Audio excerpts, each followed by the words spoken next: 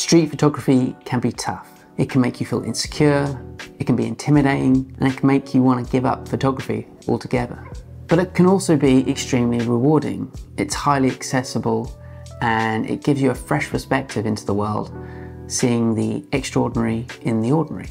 This is something that I would advise most photographers, whether you're a beginner or professional, to try, to dabble in, to once in a while go out into the field and take photos in real life. In your failures, you are going to learn because street photography is a practice where you have to take a lot of bad photos before you get some good ones in there. Well, I do anyway. So in this video, I want to give you five tips to help you enter the world of street photography. And this might help you whether you're a professional, but it is mainly aimed at beginners who possibly have some anxieties about starting street photography and have maybe tried it a couple of times but are looking for some tips to grow into this art form and see if they can explore it more. And stick around because tip number five is definitely my favorite and it's something I've learned recently. That one's good.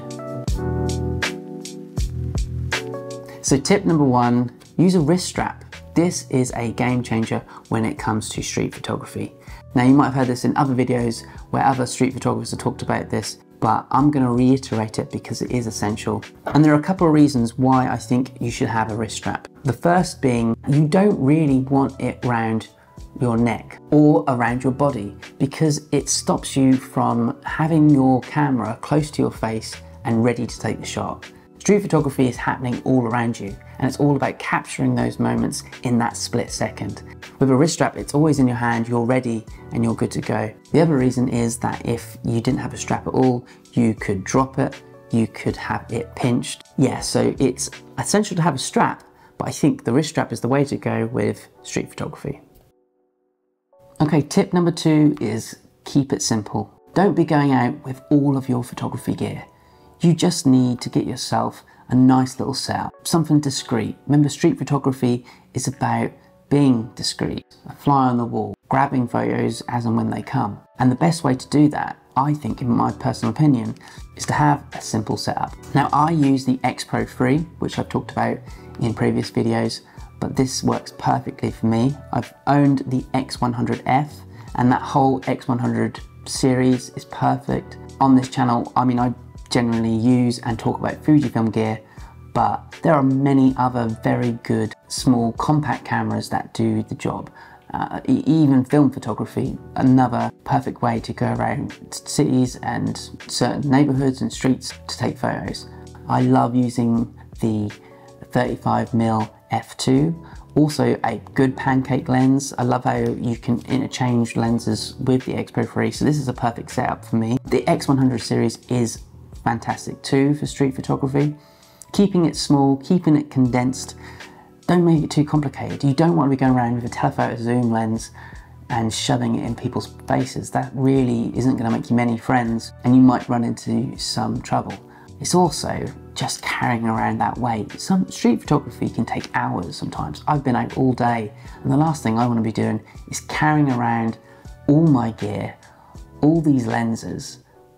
Keep it simple, stick to a focal length, and shoot till you're tired. I think it's a real good training ground to practice and hone your skills when you keep it simple. The third tip I'd like to share with you is wear sunglasses. Now I have had a few people raise their eyebrows at me with this one, but it really does help and it's helped me because your eyes, as they say, give you away. Now with street photography, most people are trying to capture people. They're trying to capture scenes and they're trying to, again, look less stalkerish. So I know that sunglasses can maybe do that. If your eyes are dottering all over the place and you make eye contact with someone who you're trying to photograph, it can make you feel either very intimidated, very anxious, it can inhibit you from taking the photo. If you are wearing sunglasses, such as I am now, you can, I am looking to the right and I don't think that you'd be able to tell. I'm looking to the left now. So it kind of gives you a perspective where you can scout the street and see if there is something where there's potential for a good photograph. So, sunglasses. I know it's a weird one, but it has helped me.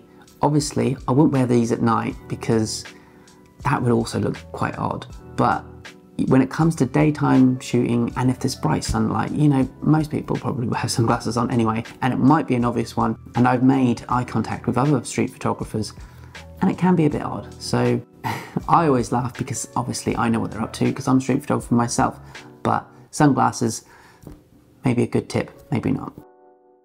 The fourth tip I'd like to give you is shoot a scene. And what I mean by that is set up your composition.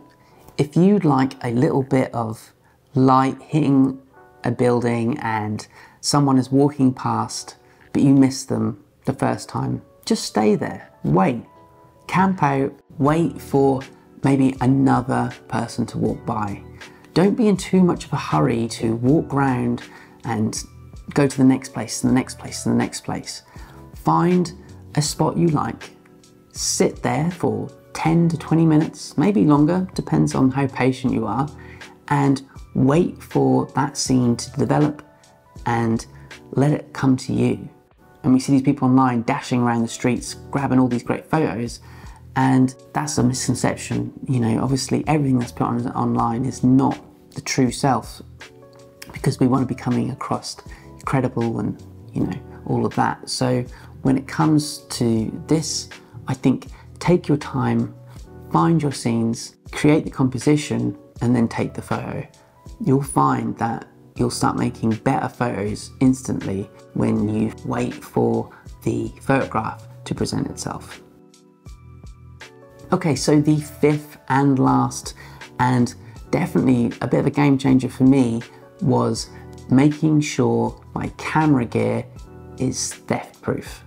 I've got a Canon, which I think in America this would be called a Rebel, but over here in Europe it is called an EOS 200D. Now, this is not an entirely very expensive camera, but in its day, when I bought it, it was for me and I was just starting out. I, I would love to quote and point you to where I got this tip from, but I can't remember. But I want to share it with you because it's fantastic and I've done it ever since.